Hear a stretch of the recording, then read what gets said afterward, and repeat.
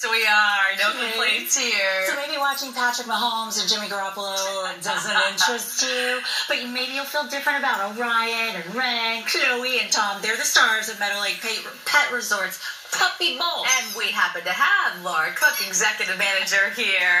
You ready for the Puppy Bowl? I'm so excited. It's my favorite time of year. My favorite event that we do all year. Tell us about our cutie patooties down here. They're going at it. We're going to see who wins the big game. Right? At our Galleria location. We do have two locations, so let's be clear, it's at our Galleria location. Okay. We have a huge space for puppy daycare, which is a service that we're now offering Monday through Friday.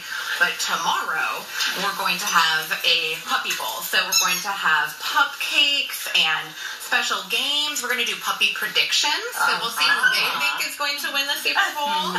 Um, and obviously, they're going to have just a ton of play and fun. Okay, so let me ask you: Is this for uh, like dogs of all ages and sizes, or is this you know should we be kind of mindful about who we're bringing? Yeah, so we need to be a little bit mindful mindful of that. So this particular event is for puppies aged two to six months. They do have to have an evaluation first because, as we all know, not everybody is fully socialized.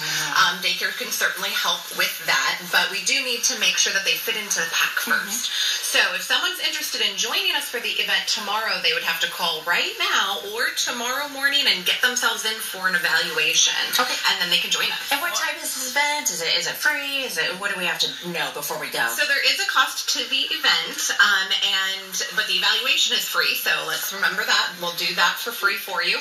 Um, and then it's all day tomorrow. So most of the activities will happen between about 10 and 4, just because that's when the majority of puppies will be there um, from people dropping off and picking up from work. And what age do you suggest that people really start trying to socialize their puppies? It's tough because most of the time you can't get them out and about until they're 16 weeks and they build up their immunity.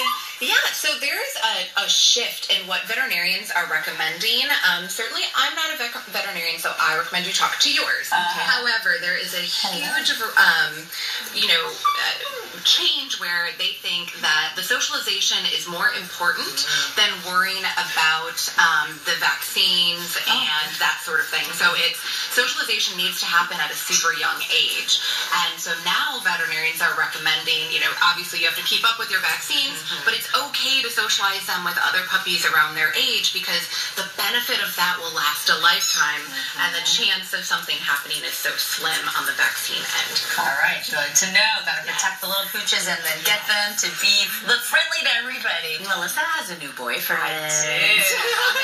With this one. Oh my goodness. Um, the Masked Singer season three is coming up, and we've got Jenny McCarthy and Robin Thicke telling you why. Um,